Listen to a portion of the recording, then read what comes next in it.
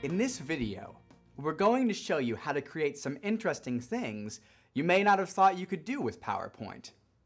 Like what, you say? You know, I have a friend who's a summer camp director. He showed me this cool thing they do each summer. The kids take pictures of events each day, and then at the end of the week, they have a couple hundred pictures.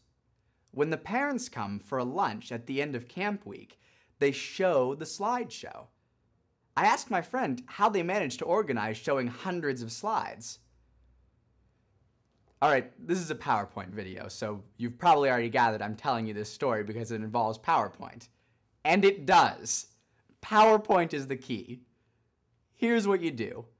First, get all of your pictures in a directory. Then, go to Insert, Picture, New Photo Album. In the dialog box, select File, Disk, and browse for your pictures. Select all the images you want in your album.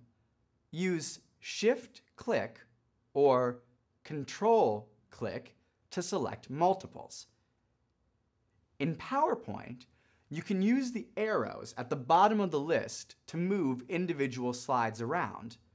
Or you can do this directly in PowerPoint Sorter View. You can even adjust the pictures for rotation, contrast, and brightness.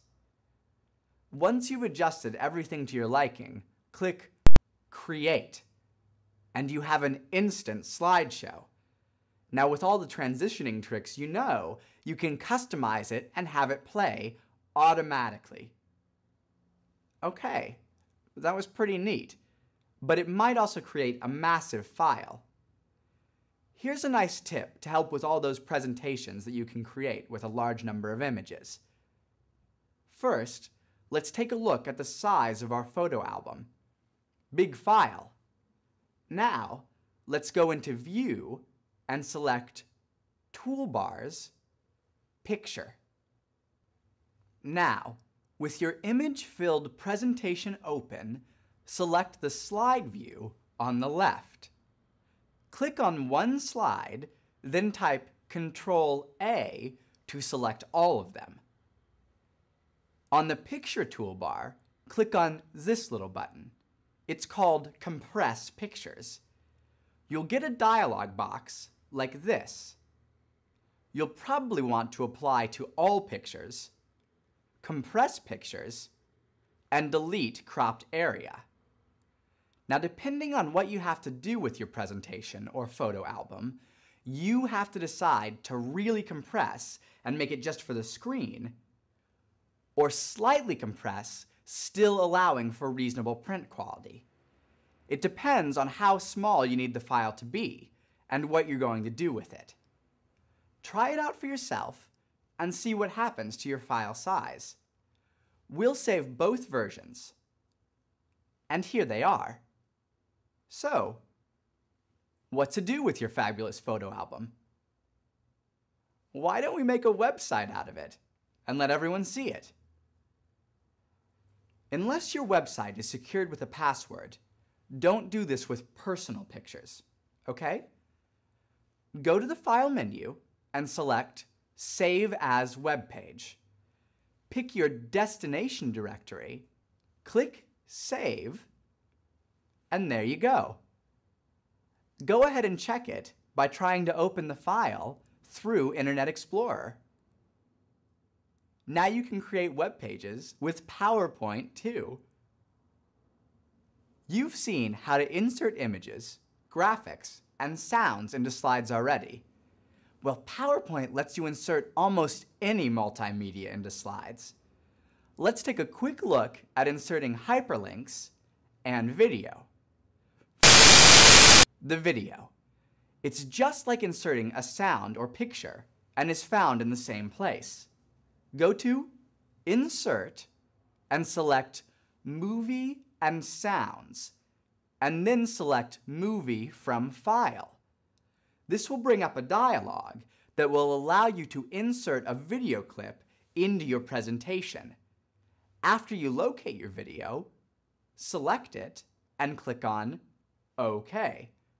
It will then give you the option of playing the clip automatically or waiting until you click on the video to play it in the presentation. That's pretty straightforward.